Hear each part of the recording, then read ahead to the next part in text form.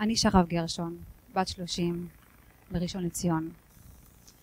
הייתי ילדה מלאת בשמחת חיים, שאפתנית, מקובלת חברתית, מצליחה בלימודים. כמעט כל תחום שנגעתי בו, הצלחתי.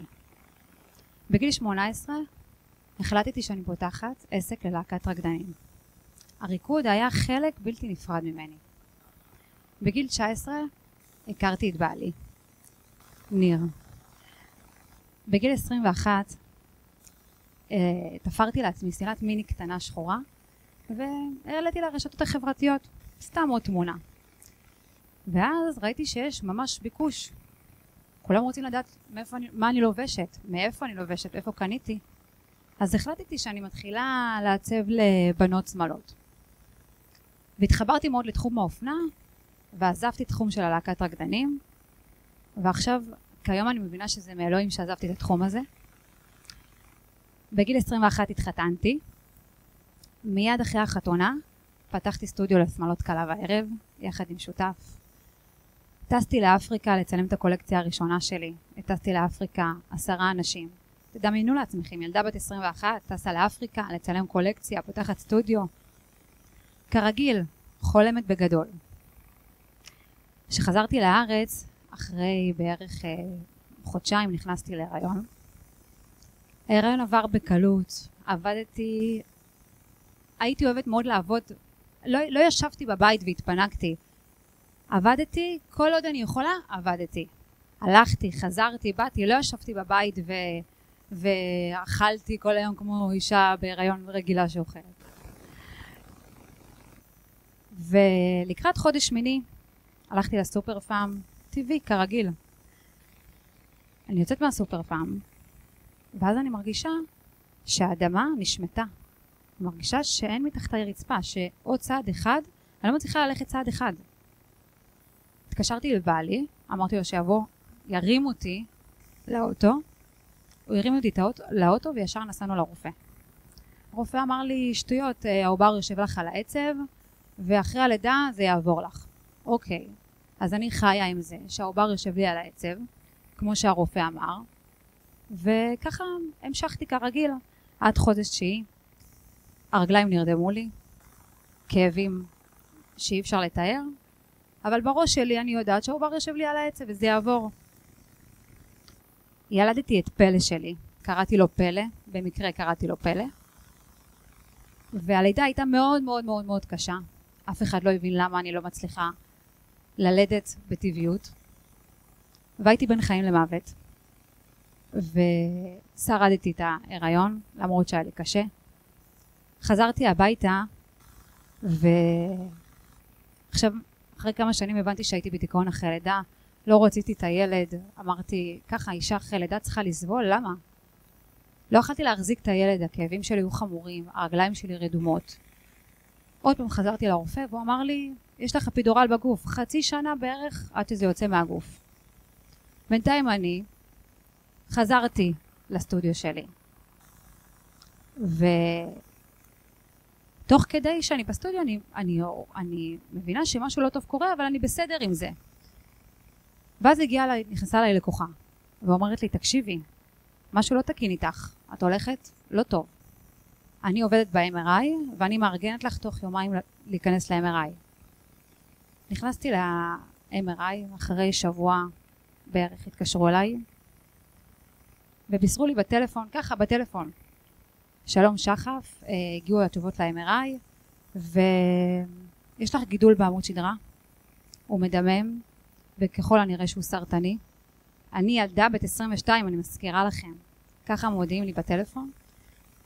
עכשיו, המרוץ של החיים כאילו לא, לא, לא התייחסתי למה שהיא אמרה, ניתקתי את הטלפון, אמרתי אוקיי בסדר, המרוץ של החיים לא הכניס אותי להיכנס לדיכאון הזה, להבין מה אמרו לי, והמשכתי לעבוד.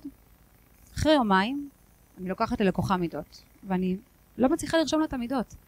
הידיים שלי השתתקו, הכאבים שלי כבר הגיעו למוח, והרגשתי שמשהו לא טוב קורה. התקשרתי מיד לאימא שלי, ואימא שלי לקחה אותי למיון בתל השומר. עכשיו אתם יודעים מה זה מיון, מאה אנשים, תור, זה הדבר האחרון שבא לכם לעשות בסוף היום. וממש אחרי חמש דקות כבר קוראים לי, שחף גרשון, להגיע לחדר. הוא מגיע לחדר, הוא אומר לי, שלח ה-MRI? אמרתי לו, כן. הוא אומר לי, אוקיי, את צריכה לשבת עכשיו, כי אם את ממשיכה לזוז, את יכולה להגיע לשיתוק. יש לך גידול, גידול בעמוד שדרה, שתוך כמה דקות הוא יכול להביא אותך לשיתוק. ואני יושבת על הכיסא גלגלים. ואני אומרת, איזה כיף. סוף כל סוף אני יושבת, סוף כל סוף מישהו מאשר לי לשבת. אני לא, לא אסחוב את הגוף שלי יותר. ואז מכניסים את אימא שלי שהיא פה, מכניסים אותה לחדר ואומרים לה, תקשיב, אנחנו מכניסים את הבת שלך לניתוח, שתדעי שהיא לא תחזור ללכת. אנחנו לא יודעים איך היא תצא. היא יכולה לא להזיז את הידיים, אבל בטוח, בטוח, בטוח שאת הרגליים היא לא תצליח להזיז. ואז ניתחו אותי, ובאמת קמתי אחרי הניתוח, ואני מרגישה שאני לא מצליחה להזיז את הרגליים. לא את הרגליים, והכאבים עדיין נשארו. הגיע אליי רופא ואמר לי, שחף, אה, לצערנו, הניתוח לא הצליח, הגידול, לא הצלחנו להסיר אותו כי חיכית חצי שנה והוא בינתיים נדבק לעמוד שדרה. חצי שנה שהיה לי אפידורל בגוף. ואת לא תחזרי ללכת. ואני, מה שנשאר לי זה רק לאמת את מה שהוא אמר לי, וטוב, אין לי זמן, כאילו, טוב, מה עכשיו? מה, מה הלאה? אני כאילו, אני, יש לי עסק, יש לי משפחה, מה הלאה? והוא אמר לי, את צריכה לעבור תקופת שיקום. החלטתי שאני נכנסת לתקופת שיקום, שאני לא נכנסת לדיכאון. שלושה וחצי חודשים אושפזתי, בלי הילד שלי, בלי המשפחה, רחוקה מהכל. אימא שלי ישנה איתי במשך שלושה וחצי חודשים, והחלטתי שאני נלחמת על החיים שלי. החלטתי שאני הופכת את הלא לכן. בתקופת השיקום הבנתי שהכל מהראש, שאם אני משדרת לרגליים שלי ללכת, הם יצליחו ללכת. אם אני מסתכלת על הרגליים עכשיו, אני יכולה לזוז אותם. אם אני לא מסתכלת, הן לא יכולות לזוז. וככה באמת אחרי שלושה וחצי חודשים שיקום, חזרתי הביתה. שחף חדשה. שחף שמבינה שהיא לא תוכל יותר לחזור לרקוד. שחף שיש לה כאבים, ואתם יודעים שיש כאבים זה גם, אנחנו משלמים, אני משלמת על זה בשמחת חיים. בקיצור, מפה לשם שום דבר לא יכול לעצור אותי, חזרתי לעסק שלי, חזרתי לילדים שלי, חזרתי למרוץ החיים, והשותף שלי עזב אותי. אמר לי שהוא לא יכול להמשיך איתי ככה, הוא לא יכול שתהיה איתו מישהי מגבלה, ואני כרגיל, הכל זור, או חולף לידי. ונשארתי בעסק לבד, אחרי ארבע שנים נכנסתי להיריון שוב פעם, הרופאים אישרו לי לה, לה, להשאיר את ההיריון שלי, וההיריון עבר תחת כאבים עם רגליים רדומות ונלחמתי באמת בהיריון חודש שמיני עוד פעם אני מגיעה לחודש שמיני ואומרים לי ואני מרגישה שמשהו לא טוב בגוף שלי. עוד פעם אני עושה MRI אני מרגישה שכבר נתקעות לי הידיים ניגשתי עוד פעם ל-MRI ב-MRI אמרו לי שחף צריך לילד אותך היום לא מחר היום את נכנסת לחדר לידה. נכנסתי לחדר לידה ילדו אותי לחודש לפני הזמן בטוח קיסרי והפעם אמרתי, אני לא בתיקון אחרי לידה, אני נהנית, זאת, הילדה הזו זה התיקון שלי. גידלתי אותה, מהרגע הראשון התאהבתי בה. כל כך נהניתי בגידול שלה, ואז אחרי חצי שנה, עוד פעם, נתקעו לי הידיים. הידיים שלי לא זזו. הרגליים שלי לא זזות, ואז עכשיו הידיים שלי לא זזות. הבנתי, כבר הבנתי לבד שהמצב שלי מחמיר, ידעתי לבד שאני כבר נכנסת לסרט הזה עוד פעם, הלכתי לרופא, הרופא אמר לי עוד פעם הגידול שלך גדל, את צריכה לעשות, לעבור עוד פעם ניתוח, והפעם יהיה לך פגיעה על פגיעה, שהפעם בוודאות לא תוכלי לחזור ללכת, אנחנו מכינים אותך שהפגיעה תהיה יותר קשה. קמתי מהניתוח, ובאמת הרגשתי שהפעם אני לא יכולה לחזור ללכת. הרגשתי שה... שזהו, אני גם אין לי כוחות יותר להילחם. אחרי עשרה ימים שהקלתי מה שקרה לי, אמרתי, לא, שחף, את חזקה. את נלחמת עוד פעם על הגוף שלך. והחלטתי עוד פעם להילחם. הפעם השיקום היה ארבעה חודשים. הפעם השיקום היה בהרבה יותר קשה. שתי ילדים בבית. אני הייתי חוזרת לבית כל שישי, הילדה שלי לא, יכולה, לא רוצה לראות אותי, נבלת ממני, רואה אותי על כיסא גלגלים, זאת לא אימא שלה, היא לא מכירה אותי. ואמרתי לעצמי שאני לא אפול עוד פעם. חזרתי הביתה. לפני שחזרתי הביתה, אימא שלי התחננה אליי שאני אקח מטפלת. אמרתי לה, אמא, לא, אני לא תינוקת.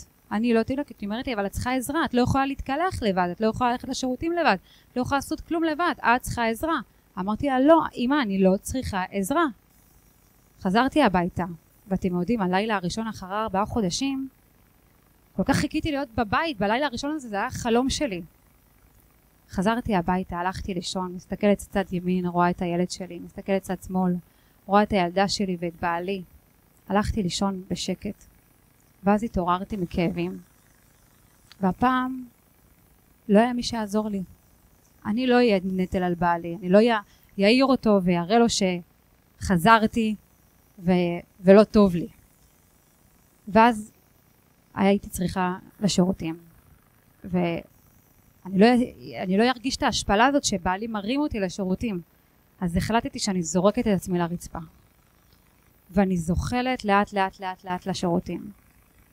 ואני מגיעה לאט ואני בוכה, ואני צורחת מבכי, מההשפלה. ואני עוד פעם זורקת את עצמי לרצפה, ואני זוחלת כמו תינוקת למיטה. ונרדמתי. ואז קמתי הבוקר, בעלי שאל איך עבר הלילה, אמרתי לו בסדר, ישנתי מצוין, הוא שאל אותי את יכולה לצאת לסידור, אני יכול לצאת לסידור קטן, תישארי עם הילדה? כמובן, בטח, בטח, אני נשארת עם הילדה, נשארתי עם הילדה.